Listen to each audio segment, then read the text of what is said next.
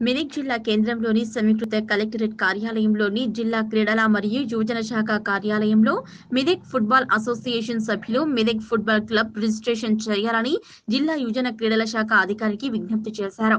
ఈ సందర్భంగా క్రీడల శాఖ అధికారికి ఫుట్బాల్ అసోసియేషన్ సభ్యులు ఆయనను ఘనంగా సన్మానించారు. జిల్లా యువజన క్రీడల శాఖ అధికారి నాగరాజు మాట్లాడుతూ విద్యతో పాటు క్రీడలు కూడా చాలా అవసరమని విద్యార్థులు క్రీడపై ఆసక్తి చూపాలని సూచించారు.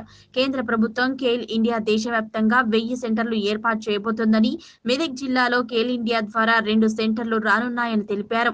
ఆ కేంద్రాలలో పద్నాలుగు రకాల క్రీడలు ఉంటాయని తెలియజేశారు. ప్రాథమిక జెడ్పీహెచ్ఎస్ స్కూల్లో క్రీడలు ఎక్కువగా ప్రాముఖ్యత ఇవ్వబోతున్నామని పేర్కొన్నారు. మెదక్లో గత పదిహేను సంవత్సరాల నుంచి ఫుట్బాల్ క్రీడను ఆడుతున్నారని వారికి కోచ్ను ఏర్పాటు అయిపోతున్నట్టు తెలిపారు. ఈ కార్యక్రమంలో ఫుట్బాల్ అసోసియేషన్ సభ్యులు వేణు రామచందర్ చైతన్య కృష్ణ ప్రశాంత్ మణి సుశీల్ కరుణాకర్ ఫణితో పాటు పలువురు క్రీడాకారులు పాల్గొన్నారు.